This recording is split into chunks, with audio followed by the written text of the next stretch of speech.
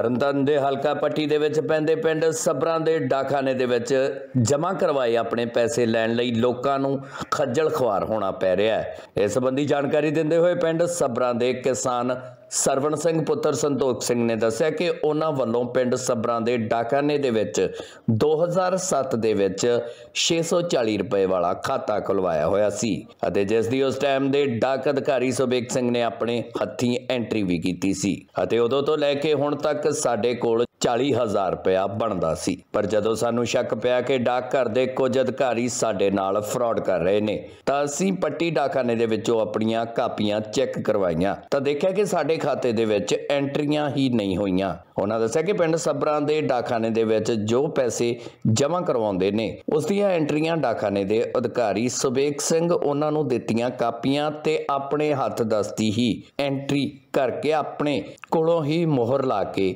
ਦੇ ਦਿੰਦਾ ਸੀ। ਪੀੜਤ ਕਿਸਾਨ ਸਰਵਣ ਸਿੰਘ ਨੇ ਦੱਸਿਆ ਕਿ ਜਦੋਂ ਮੈਨੂੰ ਇਸ ਫਰਾਡ ਦਾ ਪਤਾ ਲੱਗਿਆ ਤਾਂ ਮੈਂ ਇਸ ਸੰਬੰਧੀ ਲਿਖਤੀ ਸ਼ਿਕਾਇਤਾਂ ਡਾਕਖਾਨੇ ਦੇ ਉੱਚ ਅਧਿਕਾਰੀਆਂ ਨੂੰ ਦਿੱਤੀਆਂ ਪਰ ਮੇਰੀ ਅਜੇ ਤੱਕ ਕੋਈ ਵੀ ਸੁਣਵਾਈ ਨਹੀਂ ਹੋਈ। ਪੀੜਤ ਕਿਸਾਨ ਸਰਵਣ ਸਿੰਘ ਨੇ ਡਾਕਖਾਨੇ ਦੇ ਉੱਚ ਅਧਿਕਾਰੀਆਂ ਤੋਂ ਮੰਗ ਕੀਤੀ ਹੈ ਕਿ ਉਹਨਾਂ ਦੀ ਬਣਦੀ ਰਕਮ ਉਹਨਾਂ ਨੂੰ ਦਿੱਤੀ ਜਾਵੇ ਅਤੇ ਫਰਾਡ ਕਰਨ ਵਾਲੇ ਅਧਿਕਾਰੀਆਂ ਤੇ ਕਾਰਵਾਈ ਕੀਤੀ ਜਾਵੇ। ਜਗਸੇਵਕ ਵੈਬ ਟੀਵੀ ਲਈ ਤਰਨਤਾਰਨ ਤੋਂ ਵਿਜੇ ਅਰੋੜਾ ਦੀ ਰਿਪੋਰਟ। ਸਰਵਣ ਸਿੰਘ ਜੀ। ਕੀ ਗੱਲ ਹੋਈ ਹੈ ਜੀ? ਗੱਲ ਕੀ ਜੀ ਆਪਣਾ ਭਰਾ ਪਿੰਡ ਵਿੱਚ ਖਾਤਾ ਆਪਣਾ ਡਾਕਖਾਨੇ ਵਿੱਚ ਖਾਤਾ ਖਲਾਇਆ ਸੀ ਆਪਾਂ। ਪੋਸਟਮਾਰਟਮ ਸਵੇਕ ਸਿੰਘ ਨੇ ਆਖਿਆ ਸੀ ਆਪਾਂ ਤੇਰਾ ਖਾਤਾ ਖੋਲ ਦਿੰਦੇ ਆ ਇਸ 'ਚ ਪੈਸੇ ਵਿਆਜ ਵੱਧ ਪੈਣ ਮਿਲਦਾ। ਹੈ। ਕਿਹੜੇ ਸਾਲ 'ਚ ਖੁੱਲਿਆ ਖਾਤਾ? ਖਾਤਾ ਖਲਾਇਆ ਜੀ 2007 ਜੀ। ਕੀ ਗੱਲ ਹੋਈ ਹੁਣ?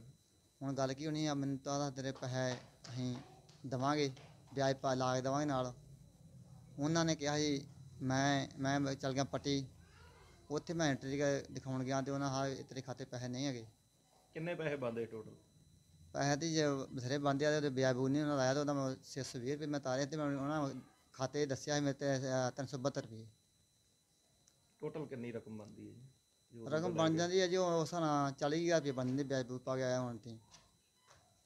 ਕੇ। ਕਹਿ ਰਿਹਾ ਹੁਣ ਪੋਸਟਮਾਰਟਮ ਉਹ ਪੋਸਟਮਾਰਟਮ ਕੋ ਘਰੇ ਗਏ ਹਾਂ ਤੇ ਉਹਨਾਂ ਆਪ ਤਾਂ ਮਿਲਿਆ ਨਹੀਂ ਉਹਦਾ ਮੁੰਡਾ ਮਿਲਿਆ ਸੀ ਉਹਦੇ ਅਸੀਂ ਪੈਸੇ ਗਾੜੀ ਮਹਿਕਮੇ ਨੂੰ ਦੇਤਾ ਤੇ ਉਹਨਾਂ ਗਾੜੀ ਮਹਿਕਮੇ ਪੈਸੇ ਤੁਹਾਨੂੰ ਦੇਣੇ ਆ। ਤੇ ਮੁੰਡੇ ਫਿਰ ਅਸੀਂ ਪੁੱਛਿਆ ਤੂੰ ਨਹੀਂ ਦੇਖਦੇ ਆ ਨਹੀਂ ਦੇਖਦੇ ਉਹ ਸਾਨੂੰ ਪੁੱਠ ਸਿੱਧਾ ਬੋਲਿਆ ਮਾੜਾ ਚੰਗਾ ਹੀ ਬੋਲਿਆ ਸਾਨੂੰ। ਜੋ ਕਰਨਾ ਸਾਡੇ ਕਰ ਲਓ ਅਸੀਂ ਪੈਸੇ ਨਹੀਂ ਦੇ ਸਕਦੇ। ਤੁਹਾਨੂੰ ਮਹਿਕਮਾ ਦਿਓ ਪੈਸੇ। ਇਸ ਸੰਬੰਧੀ ਦਰਖਾਸਤਾਂ ਵੀ ਦਿੱਤੀ? ਦਰਖਾਸਤਾਂ ਦਿੱਤੀਆਂ ਐਸਐਸਪੀ ਨੂੰ ਵੀ ਭੇਜੀਆਂ ਜੀ ਤੇ ਇਹਨਾਂ ਮਹਿਕਮੇ ਐਸਐਸਪੀ ਨੂੰ ਜਿਹੜਾ ਅੰਮ੍ਰਿਤਸਰ ਉੱਥੇ ਭੇਜੀਆਂ ਸੀ। ਚੰਡੀਗੜ੍ਹ ਹੀ ਭੇਜੀਆਂ ਜੀ ਕਾਰਵਾਈ ਕੋਈ ਕਾਰਵਾਈ ਨਹੀਂ ਹੋਈ ਜੀ ਕੋਈ ਸੁਣਾਈ ਨਹੀਂ ਹੋਈ। ਕੀ ਮੰਗ ਕਰਦੇ ਸੀ? ਆਪਾਂ ਮੰਗ ਕਰਦੇ ਆ ਇਹ ਜੀ ਆਪਣੇ ਪੈਸੇ ਆਪਣਾ ਹੱਕ ਮਿਲਣਾ ਚਾਹੀਦਾ ਇਹਨਾਂ ਦੀ ਕਾਰਵਾਈ ਹੋਣੀ ਚਾਹੀਦੀ ਆ। ਕੀ ਨਾ ਭਾਈ ਆਪਣੀ? ਗੁਰਦੇਵ ਸਿੰਘ ਜੀ। ਕੀ ਮਸਲਾ ਜੀ ਸਾਰਾ ਇਹਨਾਂ ਦਾ? ਸਰ ਜੀ ਮਸਲਾ ਕੋਈ ਨਹੀਂ ਆ ਸ਼ਫੀਕ ਸਿੰਘ ਜਿਹੜੇ ਆ ਬੀਮੇ ਬੂ ਪਹਿਲਾਂ ਕੀਤੇ ਇਹਨਾਂ ਨੇ ਪੰਜਾਂ ਨੇ ਡਾਕ 'ਚ ਪੈਸੇ ਪਵਾਏ ਆ। ਵੀ ਤੁਹਾਡੇ ਖਾਤੇ 'ਚ ਪੈਸੇ ਪਾਓ ਤੁਸੀਂ ਤੇ ਆ ਤੁਹਾਨੂੰ ਡਬਲ ਕਰਕੇ ਪੈਸੇ ਦਿਆਂਗੇ। ਪੈਸੇ ਪੂਸੇ ਕੀ ਦੇਣੀ ਆ ਮਾਰ ਕੇ ਠੱਗੀਆਂ 'ਚ ਆਪ ਮਾਨਾ ਘਰੇ ਬਹਿ ਗਏ ਆ। ਇਹ ਵਿਚਾਰੇ ਮਗਰ ਮਗਰ ਰੋਂਦੇ ਫਿਰਦੇ ਆ। ਹੋਰ ਮਸਲਾ ਕਾਹਦਾ ਸਰ ਜੀ? ਕੀ ਮੰਗ ਕਰਦੇ ਤੁਸੀਂ? ਮੰਗ ਸਰ ਜੀ ਇਹੋ ਹੀ ਸਰਕਾਰ ਤੋਂ ਵੀ ਆ ਜਿਹੜੇ ਗਰੀਬ ਦੇ ਪੈਸੇ ਮਾਰੇ ਇਹਨਾਂ ਦੇ। ਮੰਨ ਲਓ ਇਹਦੇ ਨਹੀਂ ਕਈ ਸਾਰੇ ਪਿੰਡ ਦੇ ਵਿੱਚ ਮਾਰੇ ਆ। ਤੋ ਇਹਨਾਂ ਸਾਰੇ ਪੈਸੇ ਇਹਨਾਂ ਦਾ ਹੱਕ ਮਿਲਣਾ ਚਾਹੀਦਾ। ਕੀ ਨਾ ਭਾਈ ਆਪਣਾ? ਕਰਨਾਲ ਸਿੰਘ ਜੀ। ਕੀ ਮਸਲਾ ਜੀ ਇਹਨਾਂ ਦਾ ਜਿਹੜਾ ਮਸਲਾ ਇਸ ਤਰ੍ਹਾਂ ਹੈ ਵੀ ਆਪਣਾ ਡਾਕਖਾਨਾ ਪਿੰਡ ਦੇ ਵਿੱਚ।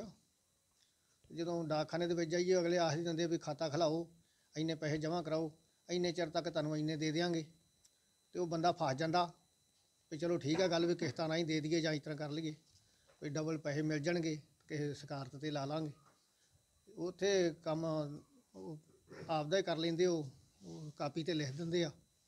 ਤੇ ਮੁੜ ਕੇ ਕਾਪੀਆਂ ਵੀ ਕੋਲ ਹੁੰਦੀਆਂ ਇਹਦੇ। ਪੈਸੇ ਕਿੱਥੋਂ ਆਉਣੇ ਆ? ਪੈਸੇ ਉਹ ਡਾਕਖਾਨੇ ਵੱਡੇ, ਇਹਨਾਂ ਹੀ ਕਰਾਉਣੇ, ਜੇ ਕਰਾਉਣੇ ਸਾਡੇ ਤੋਂ ਤੇ ਇਹਨਾਂ ਲੈ ਲੈ। ਠੀਕ ਆ ਜੀ? ਤੇ ਉਹ ਇਹਨਾਂ ਪਤਾ ਨਹੀਂ ਉੱਥੇ ਕਿਰਾਏ ਹੁੰਦੇ ਕਿ ਨਹੀਂ ਕਿਰਾਏ ਹੁੰਦੇ। ਉਹ ਮਹਿਕਮੇ ਤੋਂ ਤੁਹਾਨੂੰ ਦੇ ਦਿਆਂਗੇ ਪੈਸੇ। ਤੇ ਖੱਜਲ ਖਰਾਬੀ ਆ ਕੋਈ। ਇੱਥੇ ਆ, ਹੁਣ ਦਰਖਾਸ਼ਾਂ ਦਿੱਤੀ ਫਿਰਦਾ ਕਦੀ ਕਿਤੇ ਕਦੀ ਕਿਤੇ। ਹੱਲ ਕਿਤੇ ਹੋਇਆ ਨਹੀਂ, ਨਾ ਕੋਈ ਸੁਣਾਈ ਕਰਦਾ। ਇਹੋ ਹੀ ਵੀ ਇਹਦਾ ਪੈਸੇ ਜਿੰਨੇ ਦਿੱਤੇ ਨੇ ਵਿਆਜ ਨੇ ਪੈਸੇ ਦੇਣ। ਨਹੀਂ, ਅੱਜ ਤਾਂ ਅਸੀਂ ਕਾਪੀਆਂ ਕਲੈਕਟ ਕਰਨ ਵਾਸਤੇ ਆਏ ਹਾਂ। ਕਾਪੀਆਂ ਕਲੈਕਟ ਕਰਨ ਤੋਂ ਬਾਅਦ ਉਹਨਾਂ ਦੀ ਅਸੀਂ ਜਿਹੜੀ ਸਰਚ ਕਰਾਂਗੇ ਡਾਕਖਾਨੇ ਦੇ ਨਾਲ, ਵੀ ਉਹਨਾਂ ਦੀ ਕਾਪੀਆਂ ਡਾਕਖਾਨੇ ਦੇ ਨਾਲ ਸਹੀ ਹੈਗੀਆਂ ਕਿ ਜਿਨ੍ਹਾਂ ਦੀ ਸਹੀ ਨਹੀਂ ਹੋਣਗੀਆਂ, ਉਹਨਾਂ ਦੀ ਸਟੇਟਮੈਂਟ ਲਈ ਜਾਊਗੀ। ਔਰ ਉਹਨਾਂ ਦੇ ਬਿਆਨ ਉਹਨਾਂ ਨੂੰ ਪੈਸੇ ਪੂਰੇ ਕਰਕੇ ਦਿੱਤੇ ਜਾਣਗੇ।